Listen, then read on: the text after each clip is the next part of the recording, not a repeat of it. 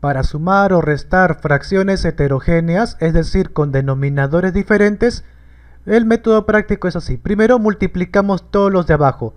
8 por 7 por 10, que multiplicando sale 560. Viene por acá. Ahora, primero para esta fracción.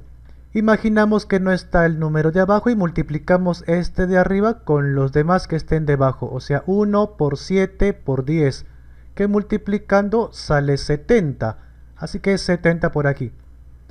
Baja el más.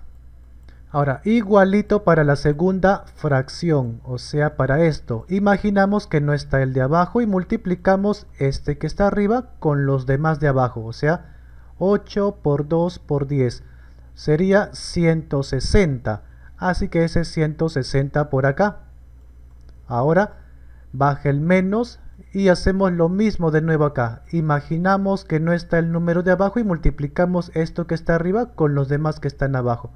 8 por 7 por 3. 8 por 7 es 56 y ahora 56 por 3, 168. Así que 168 por acá. Ahora, aquí arriba, primero 70 más 160 es 230 y a eso le restamos 168 y queda 62 nada más por acá. Y debajo 560 ahora vamos a simplificar. Es decir eh, mitad y mitad y todo eso no primero como ambos números terminan en cifra par podemos sacarle mitad. O en otras palabras dividirlo entre 2 a ambos 62 entre 2 es 31 560 entre 2 es 280.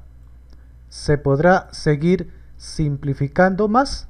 No, ¿verdad? 31 es un número primo, solo puede ser dividido entre el mismo 31. Pero abajo si lo divides entre 31 verás que no sale exacto. Así que por eso ahí termina. Así que la respuesta sería 31 sobre 280. Respuesta.